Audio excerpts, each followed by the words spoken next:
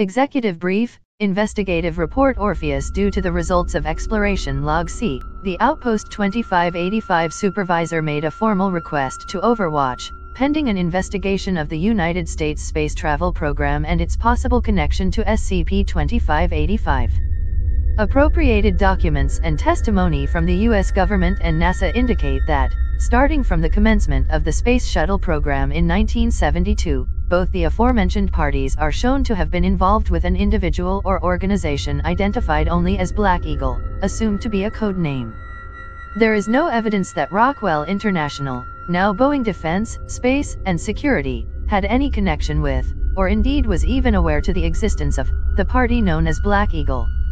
In 1974, under the supervision of the U.S. government, though not NASA or Rockwell International, Black Eagle performed several alterations to the Space Shuttle Horizon, a Space Shuttle orbiter prototype developed prior to the first officially recognized model, the Enterprise. No explicit record of these alterations is known to exist. Space Shuttle Horizon performed its first orbital flight in 1975, one year before the unveiling of the Space Shuttle Enterprise and six years before the first orbital flight of the Space Shuttle Columbia. Details regarding the Horizon's launch facility at Redacted, along with information regarding specific personnel involved, is limited to the full report, see Secure File Orpheus. Contact was lost with the Horizon 2 hours and 39 minutes after launch, at which time the spacecraft was orbiting Earth over the Indian Ocean. The following piece of testimony was compelled from Derek Wright, a former employee of the National Security Agency, NSA, in 1995. I need to make it abundantly clear that I don't know who or what the hell Black Eagle is, and none of my colleagues had any idea either. Information on B was classified above my pay grade, and my bosses were touchy on the subject. It was the 70s, we'd put the first human foot on the moon, but the space race wasn't even close to being over. There was immense pressure towards militarization of space, and the SSP was critical on that front. Ever since Salyut 1 went up, there was a frenzy to get our own space station in orbit, and plans for putting missiles on such a station were very seriously being considered.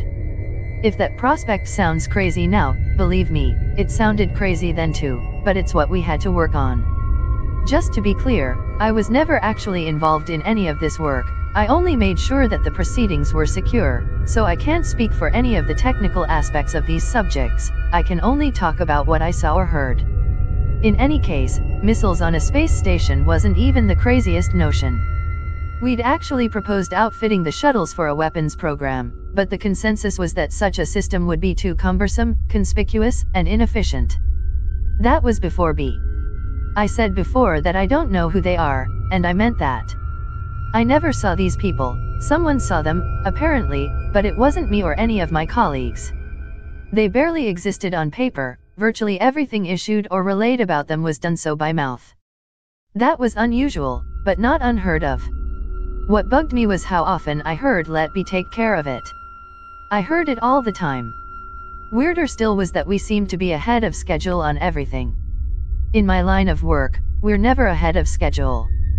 The launch date kept becoming sooner and sooner, and it seemed like things became too quick to notice. I heard whispers, hurried quiet conversations about the unprecedented weapon that B was working on, and all I can remember thinking is when did the SSP become cemented as a weapons project when it was deemed unfeasible less than a year earlier? It was so fast, so bizarre that it was surreal, and I found myself just going along with it, right up until the night of the launch. I got a call to my office from the Horizon. No, not from the launch site, from the space shuttle itself. I don't know how the hell they reached my office, why they called me, or what they even used to place the call in the first place, there's no record of it even existing, but it happened. The guy on the phone said he was Phil McGinnis, whom I knew to be one of the astronauts on the shuttle. Naturally I thought it was a joke or something similar at first, but I heard something in the background that convinced me otherwise. I honestly can't describe what I was hearing, but I didn't like it. I could barely hear what McGinnis was saying, I had to write it down on a piece of scratch paper in my office. The light that eats time, mustn't come back, and I will hold the light in me are the only clear things I heard. After less than two minutes, the call cut out. I sat for at least a half hour, literally doing nothing, and I honestly can't remember what I was thinking about.